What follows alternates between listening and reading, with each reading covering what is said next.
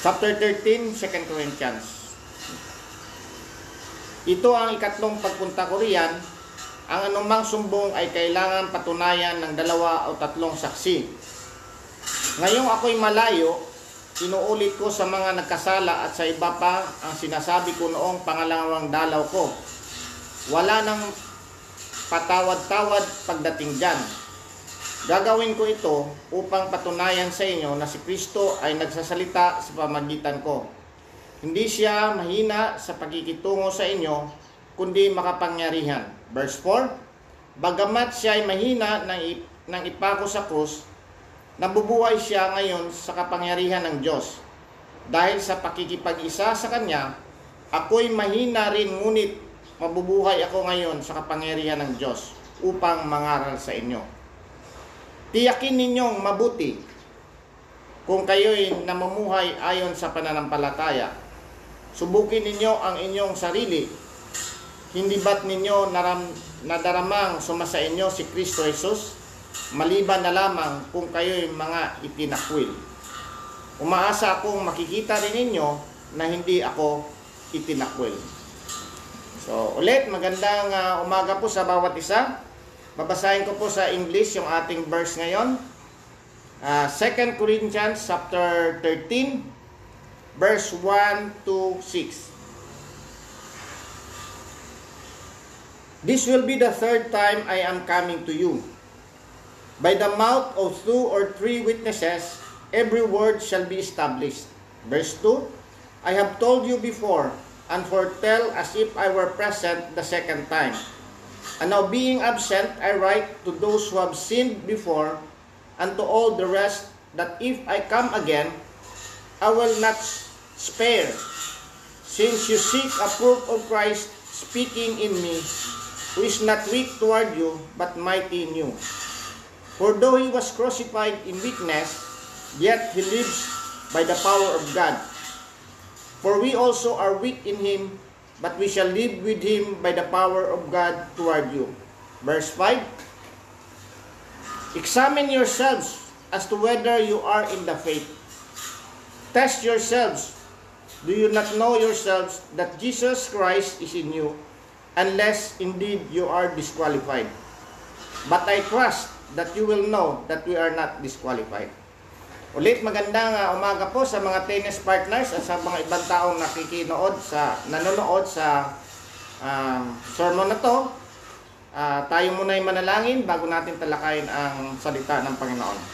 Panginoong Diyos na aming Ama, muli kaming lumalapit sa iyo at nagpapasalamat sa isang umaga na binigay mo sa amin. Salamat muli Lord na kami Lord ay yung binigyan ng pagkakataon na makarinig ng masalita. At ako rin po Lord, binigyan mo ng pribileyo upang may pahayag po Lord ng mga salita. Lord, uh, gamitin mo po Lord ang banal na espiritu ang sa aking kahinaan uh, siya po ang lumabas at ganoon din po sa aming makikinig ay buksan mo Lord ang aming puso't isipan na maintindihan namin ito lalo na sa aming pakikinig na i-examine namin ang aming sarili. Salamat muli Lord at dalangin namin ito Lord sa pangalan ni Jesus na aming Panginoon at tagapagligtas. Amen. Mga tennis partners, uh, salamat po na tayo po ay muling nakapag-Bible study. Although kahapon yung ating schedule, but because of may mga schedule tayo na ibang ginawa, uh, nalipat po sa Friday. So, although ibang araw ito, pero ako rin ay nagpapasalamat na patuloy tayong makarinig ng salita ng Diyos. Ang ating pong pag-uusapan ngayon ay, ang title po ay Examine Yourselves. No? Examine yourselves we must look at it in three perspective para sigurado po tayo. So, ang ating pong uh, talakayin talaga ito is number 5. Verse 5 ng 2 Corinthians chapter 13. Ganito po ang sinasabi.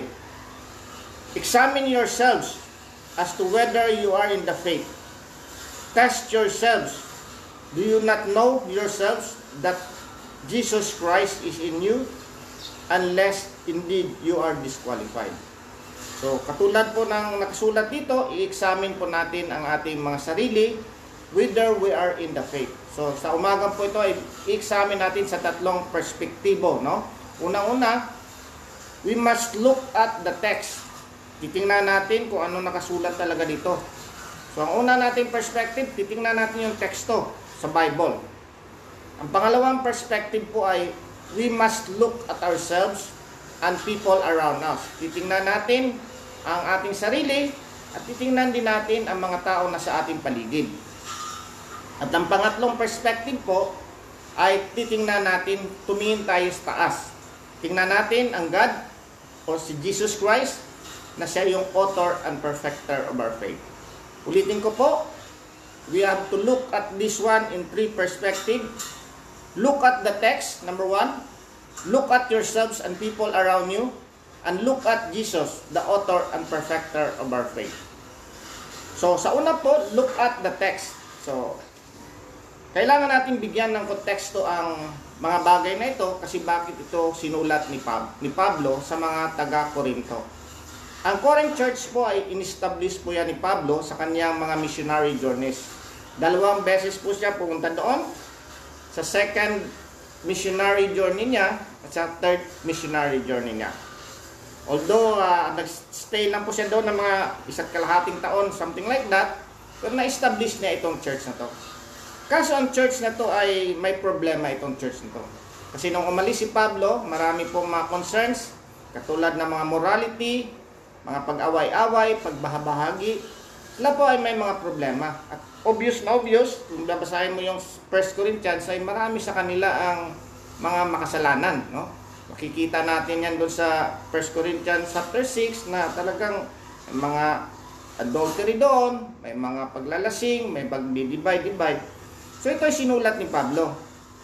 Pero dito sa huli niyang sulat sa 2 Corinto, sabi niya, This will be the third time I am coming to you.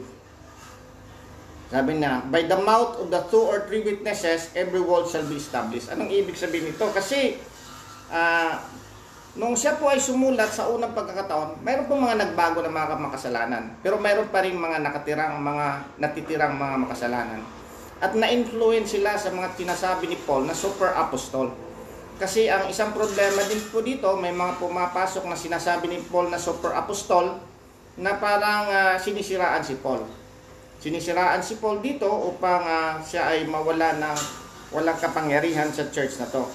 Sabi niya, kayong mga nanatiling magkasala, babalik ako dyan. At titingnan natin by the mouth of two or three witnesses, every word shall be established.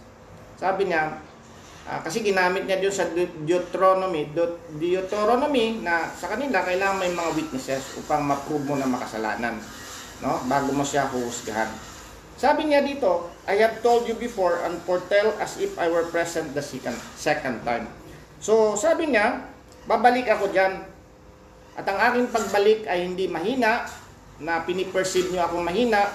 Pero ang sabi niya dito, hindi niyo ako mapiperceive na mahina ngayon, although mahina ako sa inyo sa outwardly, but inside me is in is Christ. Kaya titingnan din natin ito, sabi niya, hinahalin tulad niya ito ang kanyang sarili na katulad si Kristo, sabi niya sa verse 4, For though he was crucified in weakness, yet he lives by the power of God. For we also are in weak in him, but we shall live with him by the power of God of God toward you. Sabi niya, huwag kayong uh, mapakapa, mapakapante kasi babalik ako dyan at akala nyo mahina ako kasi kino-compare nyo ako doon sa mga apostoles. No? Makikita natin na sa 1 Corinthians 11 na sinabi nga nila, sila ba yung mga Israelites? Ako din, Israelites ako. Lahi ba sila na Abraham? Ako, lahi din ako na Abraham.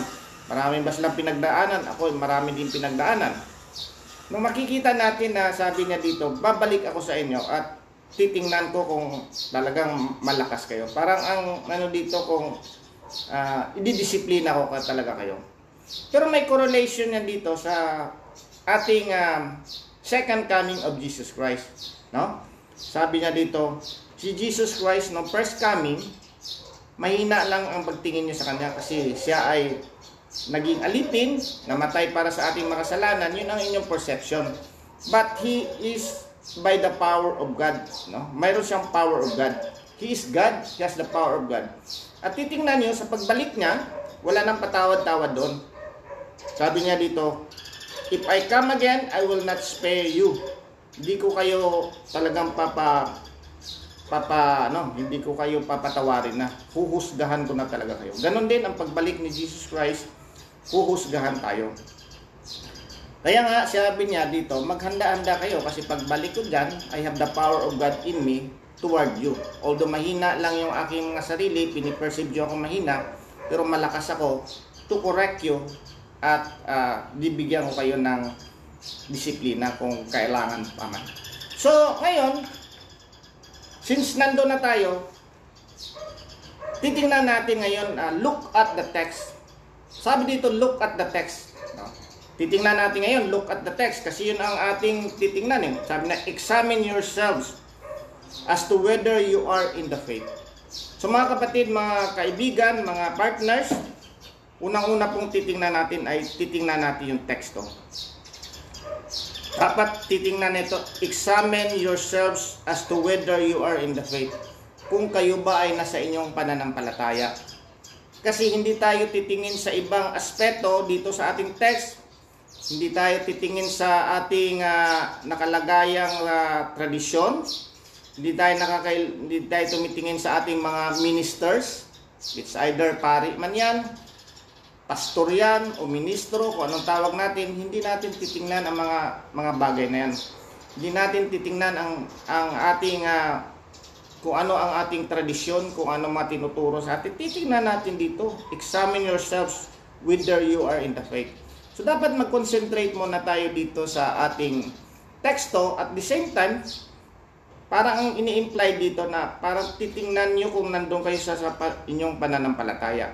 Meaning, na katulad ng titingnan natin ang didactic na na tinuturo talaga na tayo po ay naligtas sa ating pananampalataya sa totoong object na si Jesus Christ. So titingnan natin ang teksto na to na uh, the Bible is the authority talaga dito kasi katulad ng mga Berean uh, people, no? Pumunta si Pablo doon sa mga Berea. Uh, yung mga tao doon ay tinitingnan nila ang teksto kung magtuturo si Pablo. Hindi sila naniniwala kagad kay Pablo. The same time, ganun din ang gagawin natin kung talagang titingnan natin ang ating sarili, whether we are in the faith. Titingnan natin ang teksto talaga. Ano ba tong itinuturo ng taong ito? No? Ano ba tong itinuturo ng tao na to? Kasi kung titingnan natin dito, si Pablo ay dinadoubt nila. Si Pablo ay dinadoubt nila. The same also, dapat tayo din ay scrutinize natin ang mga ministers na nagtuturo sa atin, sa atin. Hindi tayo talagang uh, kung ano lang yung tinuturo nila, kung ano yung uh, sinasabi sa atin, titingnan natin yung teksto. No? Kasi sabi naman sa 1 Timothy 3:16 na ang uh, ang Bible naman, ang sabi naman ng Bible dito sa 1 Timothy 3:16 uh,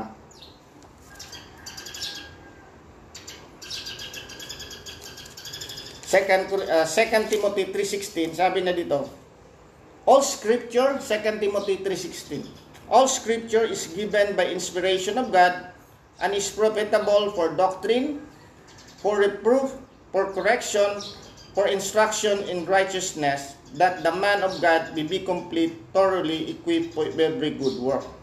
So titingnan mo yung text ngayon, titingnan mo yung text, scrutinize mo yung text ngayon, whether we are in the faith. No? Whether we are in the faith, kasi ang uh, ang ang uh, ano po, ang Bible po ay yan po ang ating basihan kung talagang nandun tayo sa ating faith. So bakit faith po? Kasi ang ating uh, pinag-aralan po, uh, we are saved by faith, not by ourselves, no? We are not by works so that nobody could boast. So, palaging pinapakita nito ni Pablo, examine yourselves as to whether you are in the faith. So, mga kaibigan, mga kapatid, titingnan natin ang text, to text nito talaga.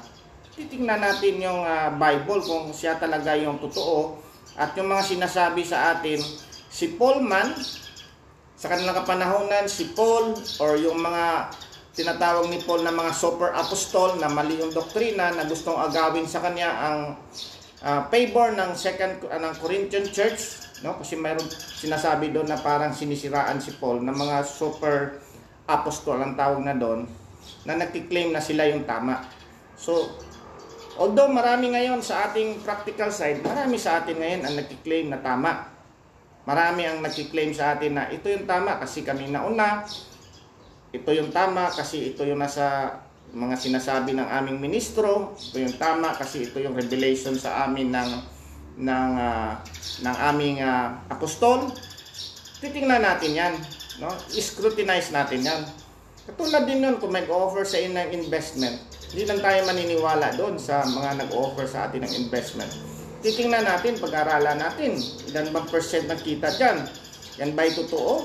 Niloloko lang ako dyan. So titingnan natin ang teksto sa ating mga sa ating mga buhay. Hindi tayo magre-rely sa mga sinasabi, kundi titingnan natin ang text, no? So, yun po ang number one. We have to look at the text. Ang pangalawa po ay sabi niya dito, test yourselves. Ha? Test yourselves. So, pangalawa ay you have to look at yourselves. You have to look at kung ano yung mga kasamahan natin. So, titingnan natin, no? Kasi minsan sa atin ay sabi natin na sabi nga si Charles Haddon Spurgeon, ah, hindi tayo doon lang sa ating uh, naka-enclose na sabi nga the closet lang, naka-enclose lang na ito na 'yon. Uh, di na ako aalis dito, no? Hindi na ako aalis dito.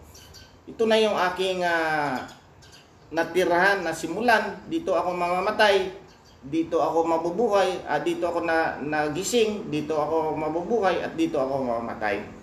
Sabi niya, test yourselves, no? Hindi tayo magikontento nandoon lang tayo sa ating closet. Sabi nga siya sa doon, nandoon ka lang sa closet mo, sasabihin mo, ah, ito na yung aking reliyon.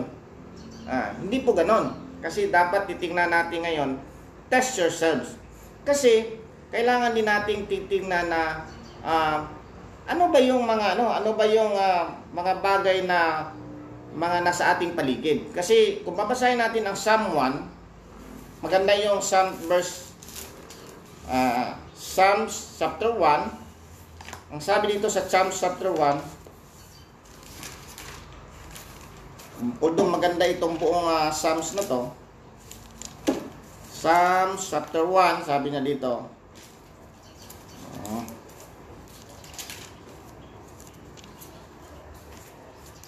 Psalms chapter 1, oh, sabi na dito. Blessed is the man who walk not in the counsel of the ungodly, nor stands in the path of sinners, nor sits in the seat of scornful. But his delight is in the law of the Lord, and in his law he meditates day and night. Shall be like a tree, a tree planted by the rivers of water that brings forth its fruit in its season, whose leaf also shall not wither, and whatever he does shall prosper. The ungodly are not so, they are like the shaft which the winds drives away. Therefore the ungodly shall not stand in the judgment, nor sinners in the congregation of the righteous. For the Lord knows the way of the righteous, but the way of the ungodly shall perish. So titingnan natin, kasi sabi naman doon sa 1 Corinthians din 9.27, na bad company corrupts No? Bad company, corruption, kung ano yung nandun tayo. So titingnan natin. Titingnan natin ang ating sarili. Hindi lang tayo maging kampante na dito na ako, dito na ako. Titingnan natin ng test yourselves. Pag test mo yung self, titingnan mo kung nandoon ba yung si nandoon ka ba, nakakagawa ka ba ng mabuti? Tama ba yung mga ginagawa ng mga company mo, yung mga kasamahan mo? Kasi magre-reflect din yan kung tama yung doctrine mo sa mga ginagawa mo. So, sabi niya dito, Blessed is the man who walks not in the counsel of the ungodly. Pag ikaw ay sa isang grupo na mga ungodly sila, oh, di na natin titi, di na natin babanggitin kung paano mo i-determine yung mga ungodly niyan. Kasi alam naman natin yan eh, kung nandun tayo sa ungodly or hindi tayo ungodly. No? So, kailangan natin tingnan. Una-una, titingnan din natin ang ating sarili. Ha? Nandun ba yung fruit of the Holy Spirit na sinasabi doon sa 1 Galatians 5:22 to 23? Nandun ba yung love? Nandun ba yung peace? Nandun ba yung joy? Nandun ba yung faithfulness? Nandun ba yung uh, godliness? Nandun ba yung gentleness? Nandun ba yung faithfulness? Nandun ba yung uh, long suffering or nandun ba yung self-control? Titingnan natin yan. Kasi kung babasahin natin ang Galatians uh, 5, sabi dito sa Galatians 5, ah, makikita natin yan eh, kung ano yung mga fruit of the Spirit and fruit of ah, the things na masama. No? Sabi ng Galatians sa 5, ah, Galatians 5, no? Ah, verse 22. Ah, sabi niya dito, But the fruit of the Spirit is love, joy, peace, long-suffering, kindness, goodness, faithfulness, gentleness, self-control. Against such, there is no law. Kung titingnan naman natin doon sa kabila naman sa verse 19 ng Galatians, sabi now, But the works of the flesh are evident, which are, which are adultery, fornication, uncleanliness, uncleanness, lewdness, idolatry, sorcery, hatred, contentions, jealousy, outbursts of wrath, selfish ambition, dissensions, heresies, envy, murders, drunkenness, rivalries, and the like, of which I tell you before, just as I told you in time past, that those who practice such things will not inherit the kingdom of God. Kaya nga sabi ni Paul doon sa mga tao din niya sa Corinthians, test yourselves kung nandoon yung ah, mga bagay na yan, ikaw ba ay nagpapatuloy pa sa mga work of the flesh? Kasi doon sa sa sa Romans 8, dapat mamumuhay tayo ayon sa espiritu, hindi ayon sa laman. Kasi nung kung ayon sa laman, ito yung mga bunga niya. Makikita naman natin, huwag tayong maging blind din sa ating mga buhay. Although hindi naman tayo judgmental, pero titingnan natin, ito ba ang aking sinasapian or aking sinasamahang grupo? Oh, it's either yung uh, group niyan or political group, religious group, etc. ay umaayon ba yan sa salita ng Diyos? So, yun po ang ating uh, ano doon, uh, test yourselves whether you are in the faith, no? Examine yourselves whether you are in the faith. Uh, sabi dito, uh, sabi niya dito, examine yourselves as to whether you are in the faith. Test yourselves. Do you not know yourselves that Jesus Christ is in you? So, titingnan mo ngayon kung nandoon si Jesus Christ sa ating mga buhay. Kasi kung nandoon si Jesus sa, sa ating mga buhay, alam naman natin, palagi natin tinuturo yan na kung ikaw ay nagiging Kristiyano, Jesus Christ is in you, and you are in Jesus Christ. Kaya nga ang ating uh, peace, nandun tayo sa uh, doctrine na we're in Jesus Christ. Kaya kung anong naranasan ni Jesus Christ, kung anong kanyang nagawa, yun din ang ating nagawa. Kung siya ay nakasunod sa batas, para na rin tayo nakasunod sa batas, kaya nga mayroon tayong righteousness of God. Kung siya ay naparusahan, para na rin tayo naparusahan, siya yung substitutionary na nagliligtas sa atin. Pero ang tinuturo ni Pablo din dito ay, uh, titingnan natin whether Jesus Christ is in you. Kasi mayroon bang uh, mayroon bang pwede ba magsama ang masama at ang mabuti? Si Jesus Christ ay mabuti. So practical way of uh, thinking ito, practical think of thinking nito na test yourselves. Do you not know yourselves that Jesus Christ is in you? So, mga kapatid, mga kaibigan, ito po yung ating pangalawang test, no? Pero ang pangatlong test po na napakaganda, ito po. Ha? Test yourselves that Jesus is in you, unless indeed you are disqualified. Look unto Jesus, the author and perfecter of our faith. Sabi nga doon sa Hebrews uh, 12.2, uh, we have to look unto Jesus, the author and the perfecter of our faith. Ikaw ba ay matitiyak mo ngayon, matitiyak mo ngayon kung ikaw ay uh, nasa pananampalataya, whether you are in the faith on the, of the object of Jesus Christ, if Jesus Christ is in you. Nakikita, look at Jesus Christ, nandun siya sa krus ng Kalbaryo, nabayubay para sa iyong mga kasalanan. Nakikita ba natin yan na siya ay nabayubay sa ating para mga kasalanan? Nakikita ba natin na siya ay umiiyak? Nakikita ba natin na siya ay nananalangin para sa atin na tayo ay magbago? Look unto Jesus. Nakikita ba natin na siya ay uh, talagang naghirap? Yun na lang, number one na lang, naghirap para sa atin, nabayubay din sa the cross, namatay siya sa atin. He, will, he took the, the form of a servant, God siya, makapangyarihan siya, pero nagkatawang tao siya para sa atin. No? Kasi nga, uh, yun ang pinakaano talaga, look unto Jesus, the author and perfecter of our faith. Ang sabi nga doon sa Isaiah 45 verse 22, nasabi na, Look to me, all the, and you will be saved. Look to me and you will be saved, all the ends of the earth. For I am God and there is no other.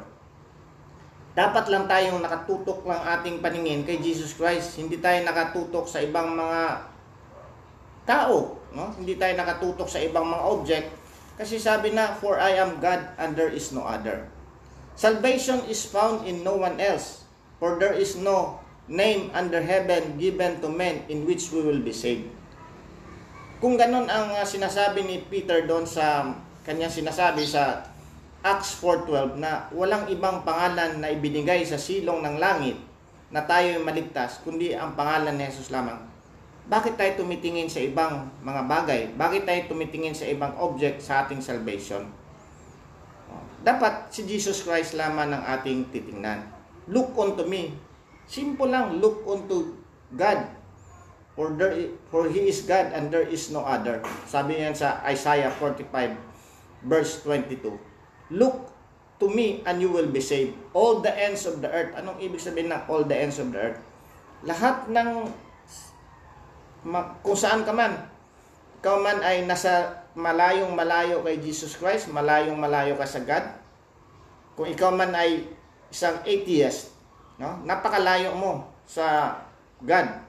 Para kang prodigal son na lumalayo sa halaga sa Panginoon. Ikaw ay isang uh, talagang inaayawan mo yung pagka-God ng God. Kasi ayaw mo siyang uh, ma- makontrol ka. Actually, sabi nga ng iba ng mga theologian, atheist is not uh, about uh, uh, parang theological. It is a moral issue. It is a moral issue na parang tumatakas ka doon sa God. No? Ayaw mo magpasakop sa God. Ganon din, para kung ikaw ang bata ay lumayas, para kang, mag, para kang lumayas sa bahay mo, ayaw magpasakop you will you will not uh, adhere to the rules of the of God. Ganon din ang ano natin. Meron namang iba, tumitingin sa iba't ibang mga object. Uh, sabi naman dito, examine yourselves whether you are in the faith. Kung ikaw ay tumitingin sa ibang object na inyong pananampalatayahan, you're you're in the in the you're not examining yourselves, no? Kaya nga, look unto me all the and you will be saved all the ends of the earth. For I am God and there's no other. Walang ibang pangalan sa silong ng langit. Although this is not uh, politically correct no? Um, sabi ni Jesus I am the only way no? I am the only way. I am the way the truth and the life. No one comes to the Father except through me Marami po ang hindi nag-agree dito, pero dapat isa yan sa ating pananampalataya. Yan ang perspective natin kung paano natin titingnan whether we are in the faith. If you are looking at others, no, kung ikaw ay tumitingin pa, uh, kasi merong iba doon, uh, ano lang, uh, para mga sigurado, no? Para makasigurado, uh, dapat akong uh, dapat akong tumingin din sa iba. Malay mo sila makakatulong sa akin. Kaya nga usong-uso ngayon yung parang ano eh, yung parang marami pa rin naniniwala sa uh, chain letter, no? Marami pa rin naniniwala din sa chain letter. 2020 na tayo. Ako nga nung ano 1992 nagsisimula, palagi kong sinasabihan yung mga admi- administrator ako doon na huwag kayong magpasa ng chain letter. Hindi po totoo 'yan. Hindi po totoo na pag ipasa mo tong isang object ni Jesus Christ ay uh, yayaman ka, magkakaroon ka ng pera ang magbibigay sa iyo ng pananampalataya lamang ay si Jesus Christ. So, look unto God, no, the author and perfecter of our faith. Uh, tapos, titingnan mo ngayon ang uh, object of your faith. Kasi, ito po ang uh, marami pong hindi nakakalam dito. The God is a jealous God. Our God is a jealous God. Ano yung mapap, ano ba yung jealous? Mapap ni Bughuin. Uh, yung parang Ayaw niya ng iba, ayaw niya ng ano, ayaw niya ng ibang ayaw na i-share ang kanyang glory. Tayo nga, naintindihan natin yan eh, sa ating, ah, sa ating asawa, o sa ating girlfriend or boyfriend, o sa ating spouse, ayaw nating may kahati.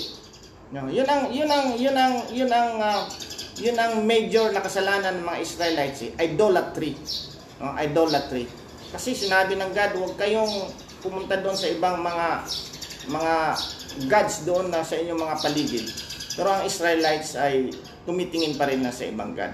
So, although hindi natin nakukuha yan na parang okay lang naman siguro tumingin dito sa ano, huwag mo kaming pakialaman dito sa aming pananampalataya. Pero, kailangan nating intindihin na ang ating God ay jealous God. Kung ibibigay mo pa yung glory mo, ibibigay mo pa, i-worship ka pa sa iba, or ano mang ano mo doon, sabi eh, hindi ko naman siya, hindi naman ako ikakasal doon eh. Ah, para sa adultery din, or parang sa kabit, tama? Sabihin mo, okay lang ba yun sa asawa mo na, hindi ko naman siya talagang ah, pinupuntahan sa bahay eh. Paminsan-minsan lang naman. Hindi po pwede sa God yan. Dapat yun ang maintindihan natin. Look unto Jesus Christ, the author and perfecter of our faith. Para makasigurado tayo na totoo yung sinasabi ko sa Isaiah 45. Isaiah 45 verse 22. Sabi niyan, Look to me and be saved, all you ends of the earth, for I am God and there is no other. There is no other God. No? There is one mediator between God and men, the man Christ Jesus. There is only one mediator and there is only one God. So hindi tayo ang focus natin na hindi tayo makatingin sa iba't ibang mga gods or iba't ibang worship natin o ano man terminology natin. Look unto God. Mga kapatid, mga kaibigan, ang sabi ni Paul dito, babalik ako at hindi ko kayo papatatawarin kung kayo ay nag-exist pa rin sa mga kasalanan. Ganon din ang mensahe sa atin sa umagang ito. Si Jesus Christ, nung una siyang pumunta, mabait siya. Gusto niya maligtas tayong lahat. Gusto niya nagsakripisyo siya para sa maligtas tayo. Pero sa pangalawang balik niya, wala na wala nang ano doon, wala nang kapatawaran doon. He will be the judge and the king. Kung hindi ka man maniniwala doon, hindi nagbabago ang truth. No? He will be the judge and the king. Ngayon, dapat i-examine natin ang ating selves. Titingnan natin ang Bible, titingnan natin ang teksto. Hindi tayo tumitingin sa ibang uh, bagay, titingnan natin ang teksto. Mapalad nga tayo ngayon kasi nakikita na natin ang Bible very available. Pangalawa, titingnan natin ang ating sarili, sarili whether we are in the faith. Test yourselves yun bang grupo na iyong mga sinasalihan, huwag na tayong magpabulag-bulagan pa, no? Ah, kung ikaw ay nasa grupo na magkiklaim naman talaga na kristyano din kami, pero patuloy pa rin sa pagkakasala, I'm not judging you, God will judge you. Pagbabalik siya, talagang husgahan niya by the two or three witnesses, no? By the two or three witnesses.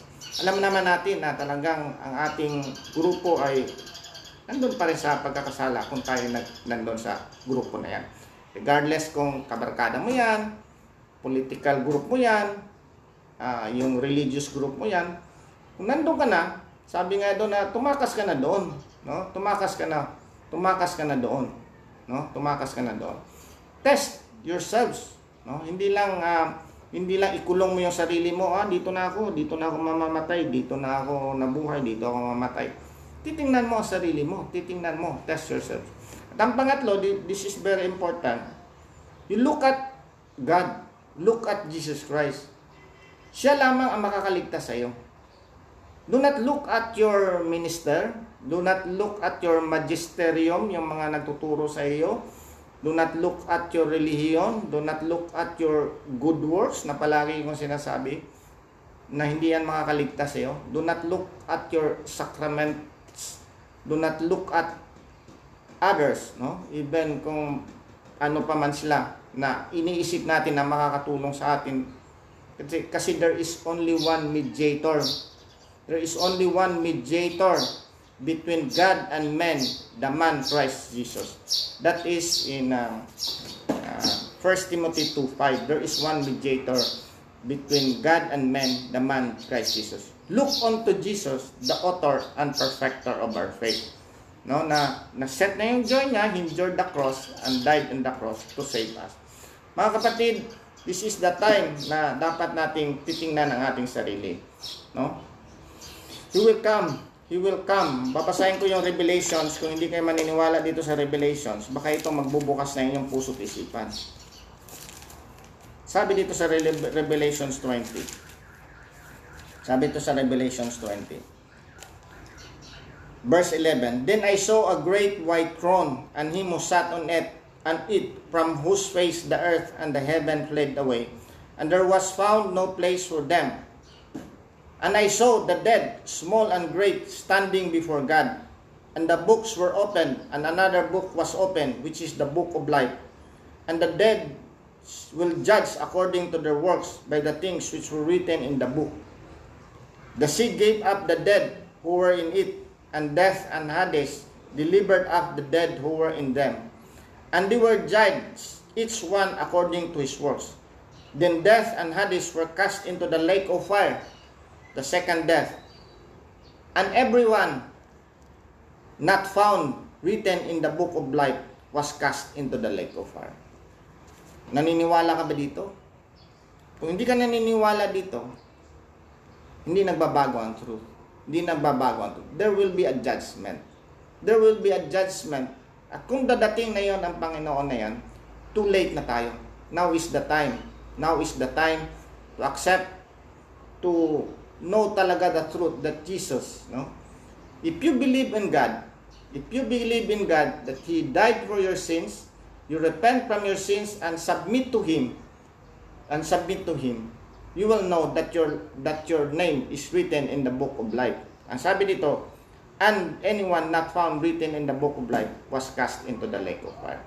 Mga kapatid, mga kaibigan, marami pong mga sinasabi ang Bible na dadating ang Panginoon. We have to test ourselves whether we are, we are in the faith.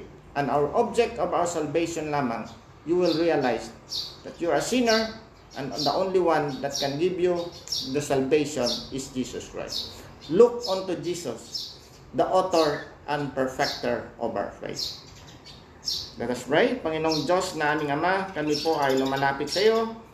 Alam po namin, Lord, na ikaw ay babalik. Hindi po namin alam kung anong exact date, exact year, exact time. Ngunit alam po namin, Lord, na sinasabi mo sa Bible na ikaw at babalik at huhusgahan mo kami at hindi mo kami papatawarin sa oras na yan kung wala po kami kay Kristo at wala kami sa tamang pananampalataya. Lord, salamat Lord na sinabi mo Lord, we have to test ourselves whether we are in the faith. Salamat muli Lord at dalangin namin to Lord in Jesus name. Amen. Okay po mga partners, mamaya mayroon po tayo